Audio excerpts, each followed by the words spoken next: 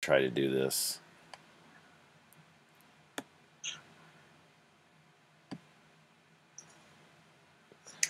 All right, we're going to start with the student overview. And I guess I'll switch to... Let's see if I can do that.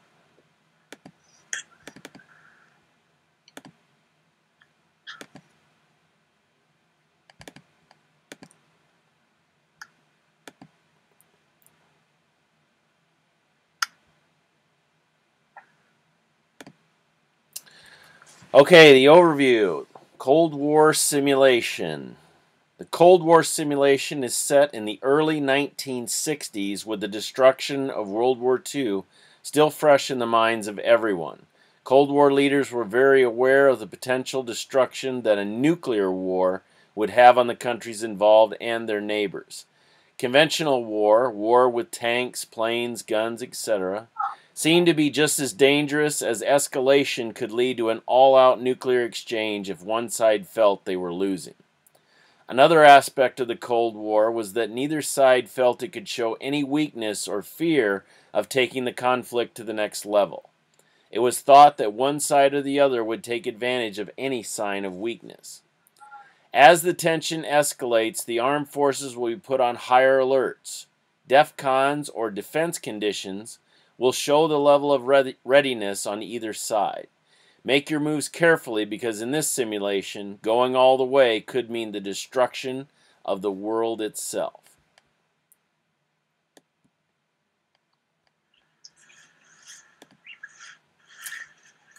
The World Situation Summary after the unconditional surrender of Germany in World War II, the Allies met at Potsdam, Germany to decide the fate of post war Europe. Germany had been divided into four occupation zones British, American, French, and Soviet zones. The capital city of Berlin, deep inside the Soviet zone, was divided in a similar way. The British, French, and Americans were allowed to access over land and through three air corridors, as you can see here on the map. There are two factors that must be taken into consideration when trying to understand why the post-war map of Europe was eventually agreed to by the West, or better stated, allowed to happen. Number one, the Soviets' willingness to suffer catastrophic casualties and their disregard for the sacredness of human life in general. This is mostly attributed to their leader, Joseph Stalin. 2. The West put a premium on human life, and they were sick of the death and destruction that had been caused by the war. The evidence of these two theories played out multiple times in both in the way both sides conducted the war. Stalin clearly used this to his advantage as the Soviets closed the Iron Curtain on Eastern Europe. The Iron Curtain is a reference to the Soviet Union sealing off Eastern Europe from the West. By 1949, the West had come to the conclusion that all communist countries were the enemy. NATO and Warsaw Pact alliances. The North Atlantic Treaty Organization was signed on April 4, 1949. This alliance is built on the idea of collective defense against a Soviet invasion. The Warsaw Pact was organized in 1955 and was led and dominated by the Soviet Union. The North Atlantic Treaty Organization is not organized in a uniform defense like the Warsaw Pact. In the Warsaw Pact, the Soviets dictate procedures, strategy, and all units are equipped with Soviet military equipment. In other words, all Warsaw Pact forces are led by Soviet leadership and have the same training and equipment. NATO, on the other hand, is a collection of different national forces loosely led by the United States. The Marshall Plan.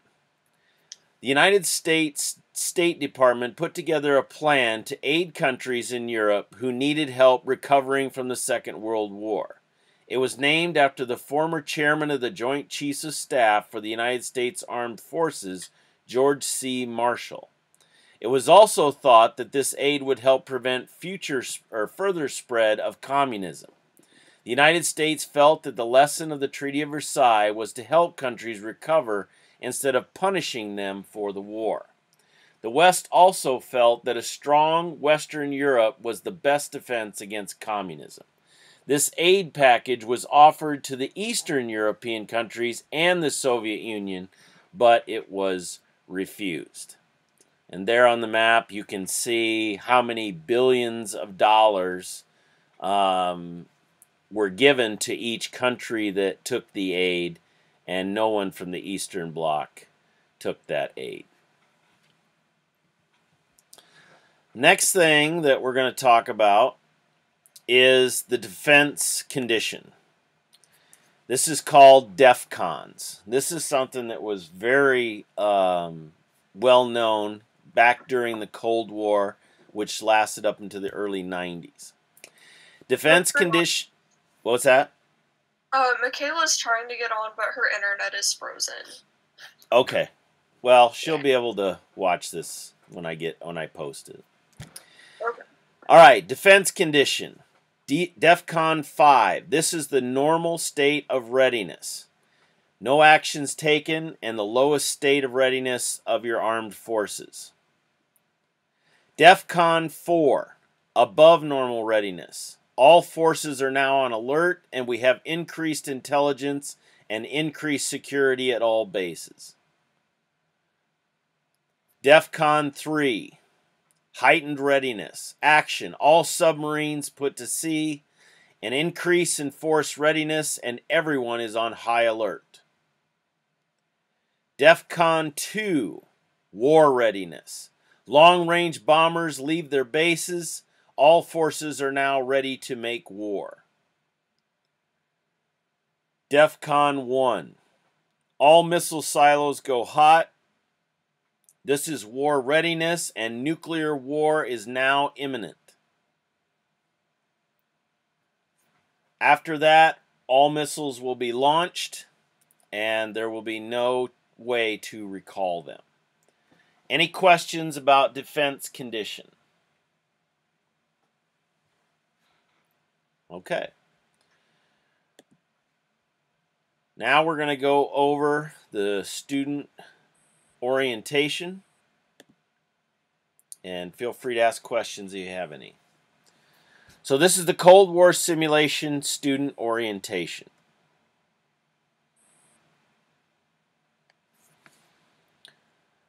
Albert Einstein, who is a very famous German physicist uh, who fled Nazi Germany and knew that the Germans were working on an atomic bomb. And this is what he had to say I know not with what weapons World War III will be fought, but World War IV will be fought with sticks and stones. Albert Einstein is the one who also warned the United States that the Nazis were working on an atomic bomb because we had no program whatsoever.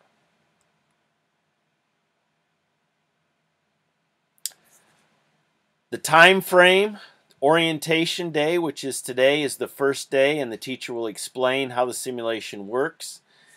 The simulation can last between one and two days, depending on what happens. It could also go longer, depending on what happens, since we've never done this online before. The order of turns, uh, the Warsaw Pact goes first, the first thing we have is conventional war. And then we have movement, which, like the other simulations, that's when you can move things that you didn't use during war. An all out nuclear strike. Either side can strike back, and there is 60 seconds to process and hit their targets. So once you, one side can um, launch their nuclear weapons, the other side does not have to wait to their turn to launch their nuclear weapons. So that's an important thing to keep in mind. In the order of turns, Warsaw Pact, it goes first, like I said, then NATO, then the independents. Uh, in this simulation, we do not have any independents, um, and the only and Cuba would probably be the only one that um, the teacher will run. The war map symbols. Armored divisions are shown with the flags and the little tanks. Missile bases are shown by rockets. Bomber bases are shown by the uh, strategic bombers. Submarines are shown by the little subs that are located on the map. Some strategic vocabulary that was very important during the Cold War. DEFCONs, we've talked about these already. DEFCON describes the alert level or state of readiness for both NATO and Warsaw Pact forces, just to keep things simple.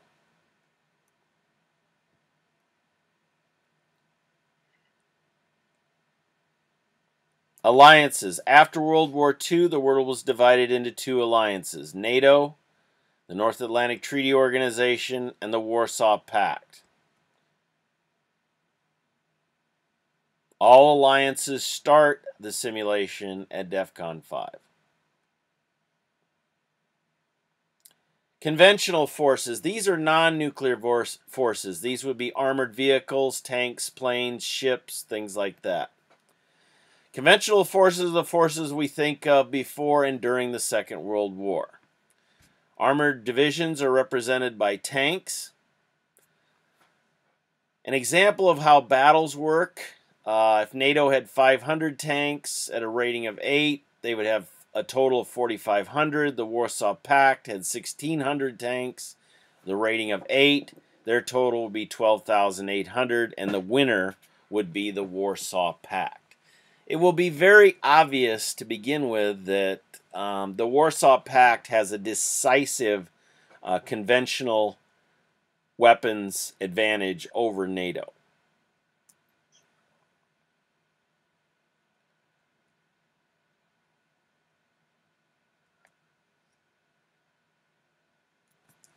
Nuclear submarines. SLBM or sea launched ballistic missiles. Submarines can roam the oceans and are very difficult to detect and allow for very little warning and response time. They carry multiple missiles with multiple warheads.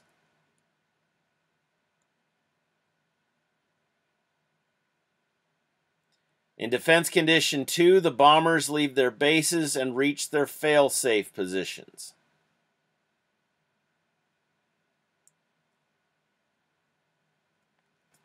Long range bombers are so fast they are very difficult to shoot down. Unless they are destroyed on the ground, they are very difficult to stop. So once the bombers are launched, it is very difficult to stop a nuclear attack by them. Ballistic missile bases. These rockets represent ballistic missile bases. Most missiles are located underground in silos. Some missiles are mobile on trucks, DEFCON 1 means that all missiles go hot, and that means they will turn red on the map. That means they are being ready to fire.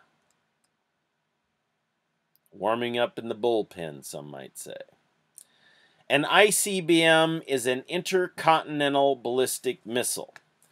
Um, these missiles, the fastest missiles known today, uh, travel at around 15,880 miles per hour which means the estimated time from launch to detonation from the Soviet Union to the United States and vice versa is 30 minutes.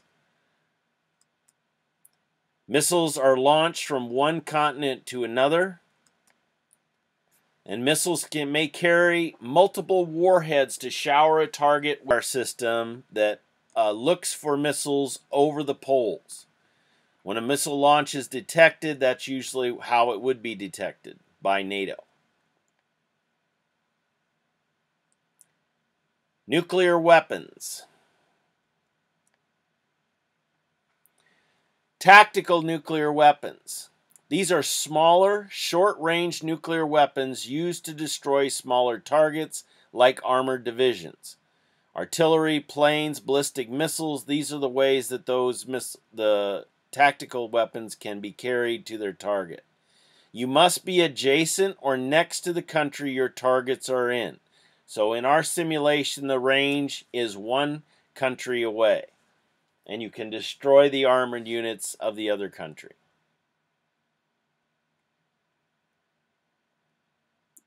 All out nuclear strike. The objective to severely cripple, if not eliminate, an opposing force's ability to make war. Targets are missile bases, industrial centers, population centers, natural resources, uh, military bases. Um, this is a realistic picture of the nuclear detonations as um, strategically guessed by the CIA as to the states that would be impacted by nuclear detonations in an all out um, Soviet attack on the United States.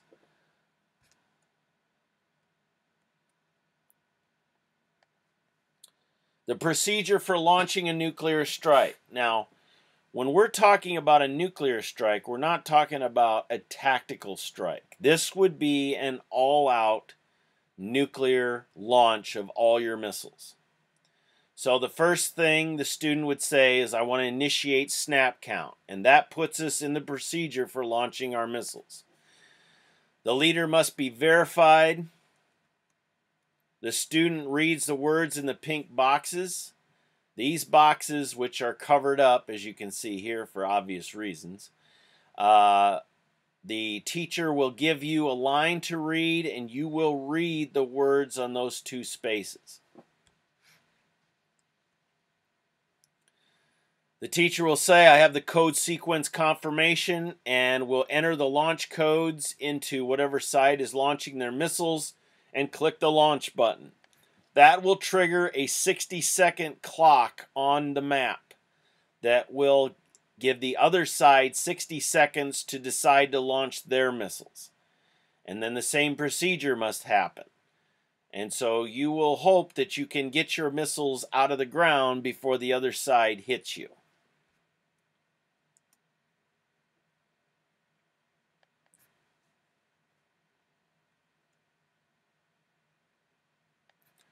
Launch on warning. Now, this is something that you need to talk with, with your alliances about whether you want to do this or not. Each alliance must authorize this, and the launch on warning means that if another country launches their missiles against yours, you will automatically launch a full strike against them. Now, once you turn this on, you can't turn it off which means if they launch, your missiles will automatically launch. So that's another thing you'll need to decide before tomorrow what you're doing with that. And you can decide that at any time. Um, and you can turn it off if you want, as long as there hasn't been a launch. If it's already on, you can't shut it off because it automatically shuts down all the systems um, that would allow that. Just to have some idea of the effects of a nuclear detonation, this is what it would look like in our community. The orange spot is a fireball radius of 1.5 miles. Now, this means anyone underground or anywhere else has a 1% survival chance in that little orange circle, which would encompass the entire city of Iowa Falls. Now, this is a hydrogen bomb. This is one of the latest nuclear weapons. The blue circle represents an overpressure of 5 pounds per square inch on your body. This would be a radius of 4.4 miles outside of uh, the center of Iowa Falls. Less than a 25% survival rate for people who were underground and all structures would be completely decimated within a 4.4 mile radius. The yellow ring is thermal radiation radius of 19.5 miles. There would be a less than 25% survival rate underground and a less than 1% survival rate within 2 to 4 weeks of the blast. All structures would be severely damaged uh, within this radius. The radius outside of that would still um, experience damage, but it would be less intense as the ones that we just saw. Nikita Khrushchev, who was leader of the Soviet Union after Stalin, was quoted as saying, The survivors would envy the dead. So surviving a nuclear war probably is worse than just being evaporated. Now, we have very different decision making processes for the two alliances. NATO's decision making process is called consensus. And that means no matter how powerful your country is, everyone has to come to agreement before you do something.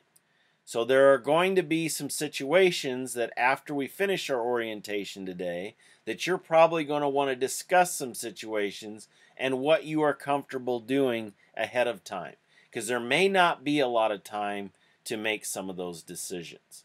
So that's how NATO makes their uh, or does their decision making process. Now, the Warsaw Pact is more of a dominant situation. The Soviet Union is very dominant over the Warsaw Pact or the Eastern Bloc countries. Um, Eastern Bloc countries are able to give their input, but in the end, the Soviet Union makes those decisions. So they have a much quicker process, uh, which is um, can be good or bad. So, uh, in an ordinary classroom si uh, situation, you would be doing a journal and report. Um, you would have to research to find the answers if you're doing this for credit. We're doing this as an example as part of our um, quarantine work, so you do not have to do the report. Journals, of course, uh, are as well. Since this is not for credit, um, we don't have to do a journal. Uh, but we'll hope that you'll think about a lot of these things as some of you are not going to get this in class. So.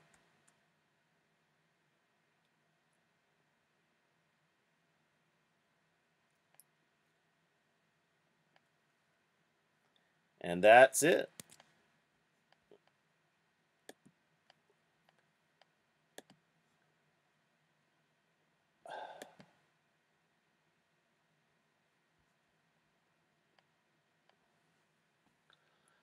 Looks like I lost my class. Well, I guess I got to go back and find it.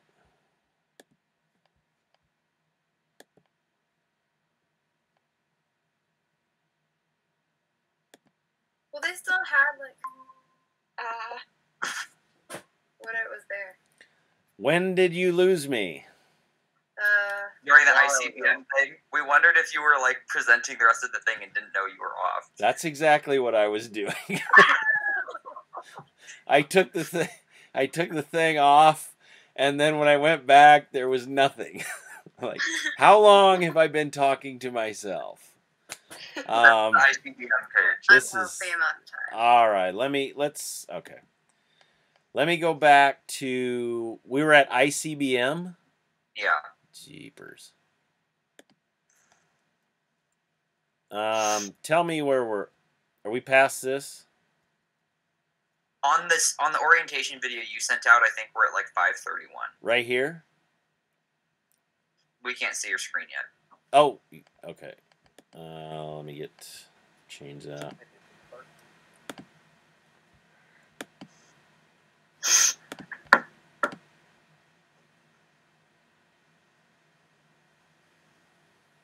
All right, got it now. Yes. All right, does this look right? Yep. So, Mhm. just want me to start right there. Sure. Take two. All right, so ICBMs or intercontinental ballistic missiles. Hang on a second. I don't want to look at that the whole time.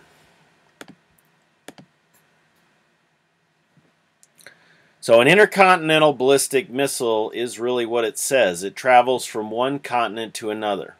The estimated time from a launch to detonation, whether from the Soviet Union to the United States or the United States to the Soviet Union, is approximately 30 minutes. Now, Missiles can travel at approximately the fastest missiles that we know of today uh, are uh, about 15,580 miles per hour. Um, so that's how long it takes to go from one side of the world to another.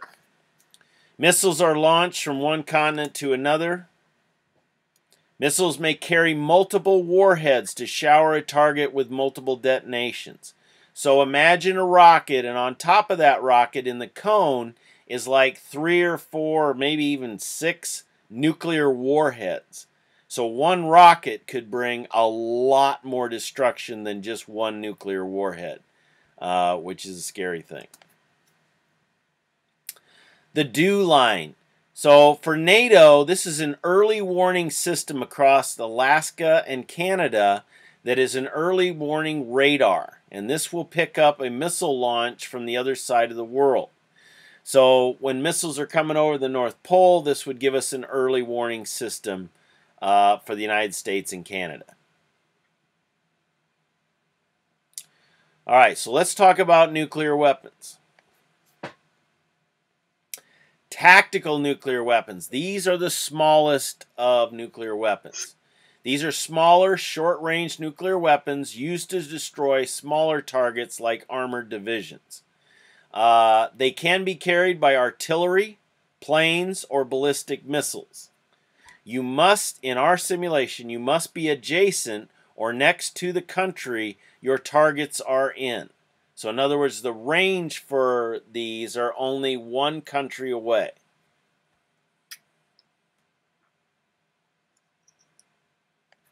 an all out nuclear strike. The objective here is to severely cripple, if not eliminate, an opposing force's ability to make war. Targets are missile bases, industrial centers, population centers, natural resources, military bases, this is a map that was put together, um, I think, by the CIA. I don't remember. It was a long time ago that I researched this. But these are the the targets the Soviet Union had on the United States in an all-out nuclear strike. So you can look at your state and see uh, what it would have looked like. The procedure for launching a nuclear strike. Now, we're not talking about tactical nuclear weapons and using those. This is if you are going to launch all your missiles. The student would say, we want to initiate snap count. Now, this puts us into the procedure to launch all your missiles. The leader must be verified. The student reads the words in the pink boxes. Now, I've obviously covered them up here because we wouldn't want to let out all the top secret launch codes of the NATO forces. So the teacher will say, I want you to read line one. And then you would read those two words, and this would confirm the codes and start the launch sequence. The teachers would then say, I have code sequence confirmation the codes would be put into the launch system and the launch button would be clicked and that means you now have 60 seconds until your missiles are going to be launched and start to hit their targets on either for either side.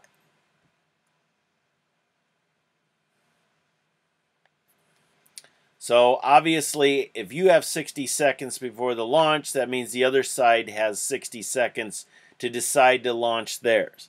If they can't make that decision in 60 seconds, then um, they could get caught with their missiles on the ground, and that means they would not be able to launch their missiles. So this is kind of one of those situations where after our orientation today, uh, you're going to need to talk amongst yourselves about what kind of decisions you would make in certain situations because you may not have enough time to have a full blown discussion. This is one of the reasons that the War Powers Act was initiated for the executive branch for the president because they did not believe there was time for Congress to debate whether or not we should launch our missiles when in 30 minutes those missiles would be landing all over our country. And that's a big controversy now because the War Powers Act gave the president a lot more power to make war than previously any other um, presidents had during the Cold War. So um, this is kind of a, a something that is that the founding fathers could not have imagined this situation. So that's kind of something that um, the government has to figure out. Launch on warning. Now, this is something you really have to decide. Another thing you're going to need to talk about. Um, each side must authorize this. If another country launches their missiles against yours, you will automatically automatically launch a full strike against them. So this means if you turn on launch on warning, if they launch, you automatically launch. And you cannot stop it. Um, you can turn this off and on as you want, but once there is a launch and it was already on, your missiles are going to be automatically launched. Okay, that could be a deterrent. That could also be a scary situation as well. So you're going to have to decide whether you want to do that or not.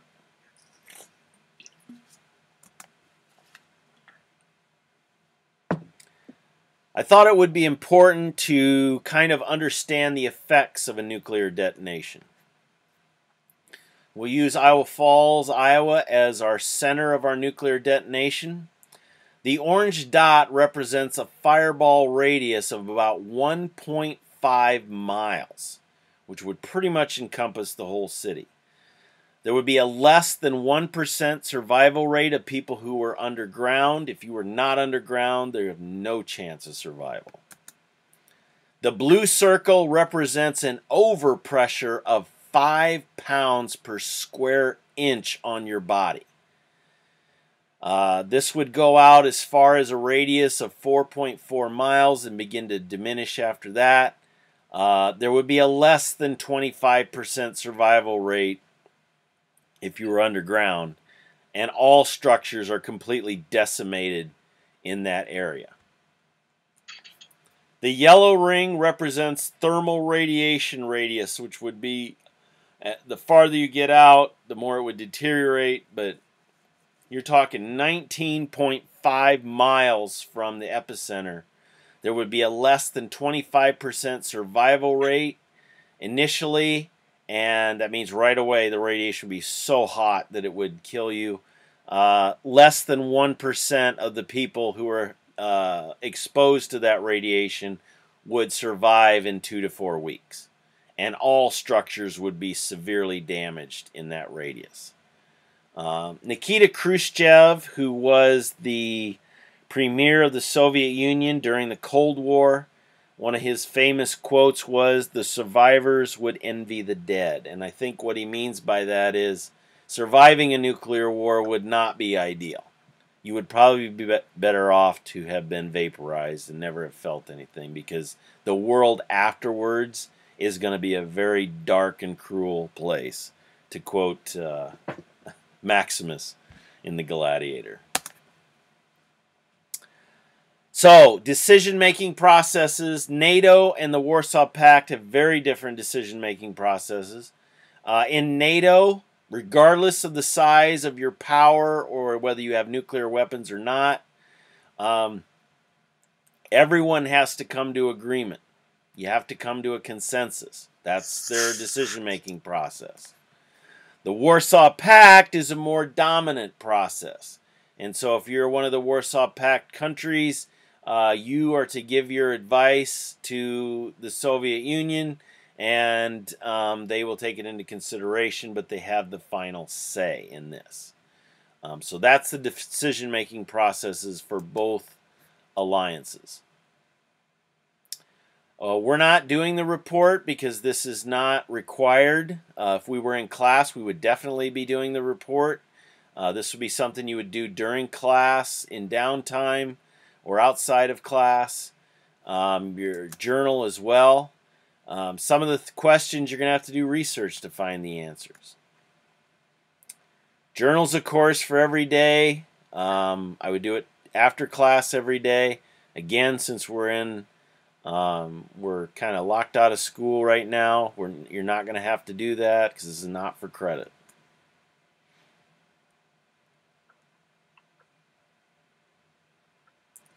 All right. And that is it. So, do we have any questions?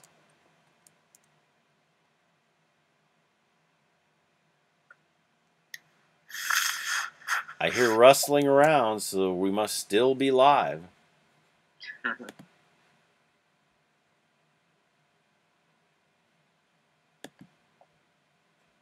No questions? I'm Okay. good. I'm good. All right, sweet. So we will meet again tomorrow at 10 o'clock. We will start with the Warsaw Pact. Uh, I have, uh, I will be sending the Soviet Union an email with special instructions. Um, and what you can do, what I would do is I would, uh, you know, do some kind of a chat or, or Zoom or something as a group now on your own um, before tomorrow so that you are ready to go because this one goes kind of fast and it gets pretty intense pretty quick. Um, so I would discuss and do go through all the questions each one of you has for your alliance and be ready to go. Sound good? Yep. Yep. All right. Well, we will see everyone tomorrow then. All right. Bye.